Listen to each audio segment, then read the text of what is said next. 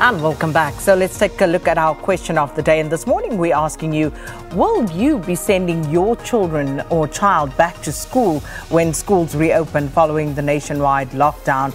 And why? We, of course, heard that addressed by the Minister of Basic Education, Angie Motshekga, last night, saying that grades 12 and 7 will be the first uh, cohort to go back in a phased approach. So we don't know anything more at this stage about when the rest of the children are expected to return.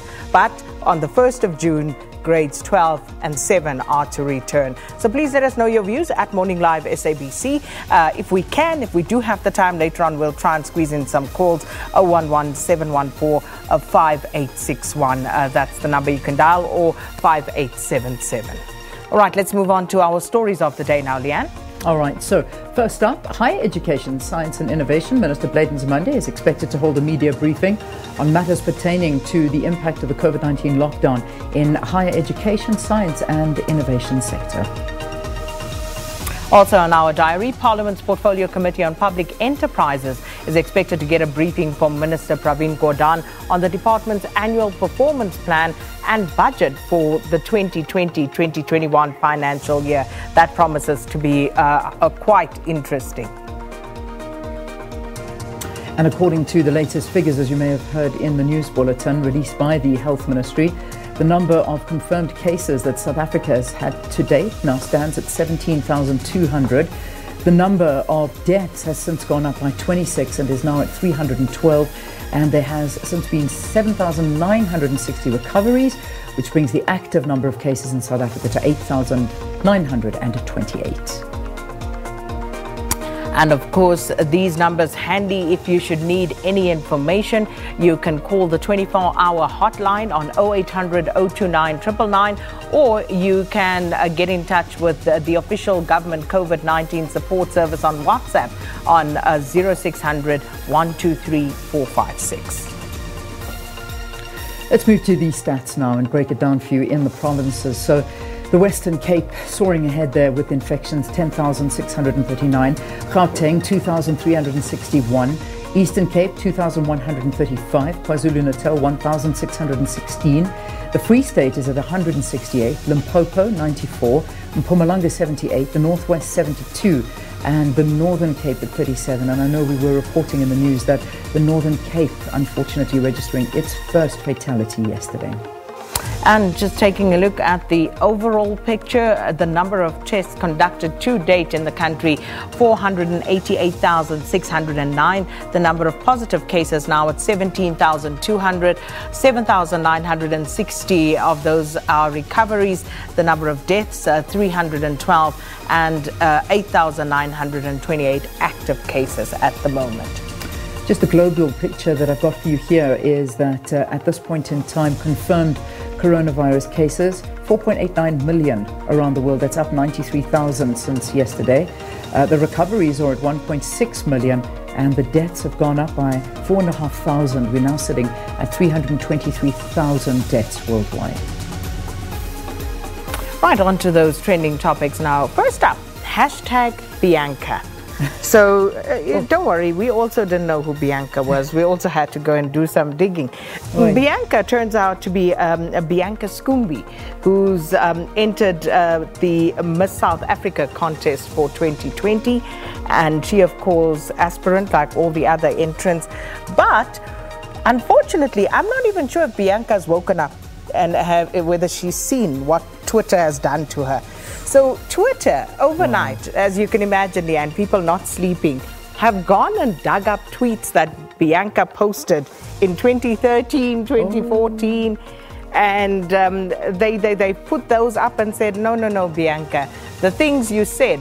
Um, you know, uh, Bianca seemed to have been back then very fond of the B word, uh, as in uh, female dog, and also the N word um, as in used in uh, the United States. So back then she was she seemed to be very fond of those words and Twitter not taking very kindly to that. Oh, she was, yeah, she's in big trouble. And as you say, I don't even know if Bianca's opened her eyes yet. So, uh, and we're all speaking about her, but this is just one big fat lesson in life. Don't put these things online. If this is what's going on in your walk mind and you want to think these thoughts, go for it, think them, but don't write them down. Um, you just, you know what, you're just exposing yourself for what you really are. Rather keep it to yourself. It's much easier that way.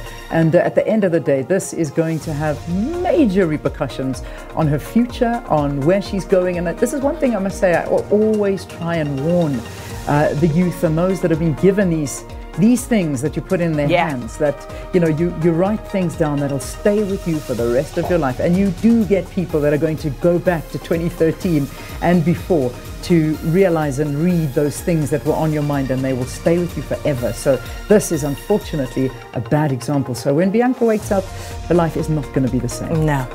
Unfortunately as you say leanne the internet does not forget. No. once it's there it's there yeah, yeah. Oh, anyway, all right. So that's Bianca, um, Miss SA, obviously trending as well because of this, and she was one of the, uh, the I, I, think, a hopeful. She was an entrant. I'm not sure what the story was, but we, we know who she is, so not a good one. Schools reopening. We had that uh, long-awaited press briefing yesterday by our Minister, Angie Motshekga, and she, of course, has now said that schools will be opening on the 1st of June, starting with grade 7 and grade 12, and then announcements will be made when the other grades will be going back. But, you know, just talking to all the plans that they have in place to ensure that um, schools are, you know, uh, ready for the pupils, and also saying uh, that, you know, she's seeing uh, kids in townships on the streets from 9 o'clock playing all day and that, that they don't have order in their lives. And by taking them back to school, this will at least give them order and you know ensure that they are learning something. But this is a, a, debate that a lot of people are having in their heads including myself as a parent with kids at school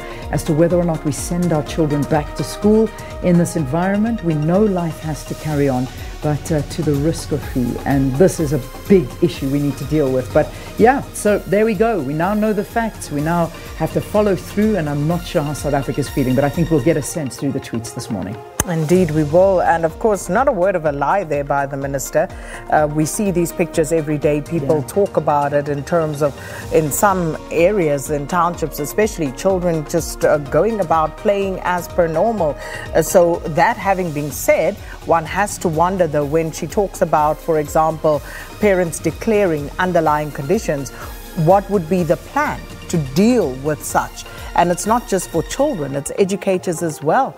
How will they deal with that? So I guess, Leanne, still many questions that need to be answered. Mm. We'll endeavor to um, answer some of those with some of the guests coming through this morning. Yeah. But yeah, that's what people are talking about. Hashtag schools reopening. And then finally, hashtag day 55 lockdown of the lockdown. And this is where we are, of course, as a nation. Yeah, and you know, one of the, the interesting things to come out yesterday, not interesting, but rather scary, in fact, was a presentation by a group of scientists advising government on projections and modeling. Uh, was uh, they had a, a, virtual meeting with Health Minister uh, Zweli Mkhize yesterday, and this was the line that got to me. That basically they were saying that with the projections that they currently have with the situation in South Africa, they're showing that there would be at least 40,000 deaths in South Africa by November, with 475 expected by the end of May and the infection rate will be no less than a million by the end of November. So those are some really sobering figures that have been given to us, and uh, whether they're true or not, and whether we can expect that to happen, is a very scary situation. But we're heading into that peak, and they they're not holding back when it comes to the projections. So yeah, absolutely. And of course, we don't know when that peak is going to be exactly. Yeah. You know, a few months uh, laid out, but all of this remains to be seen, and we are learning as we go along. But um, those are our trending topics for this morning. Uh, let's take a quick break before we bring you news headlines.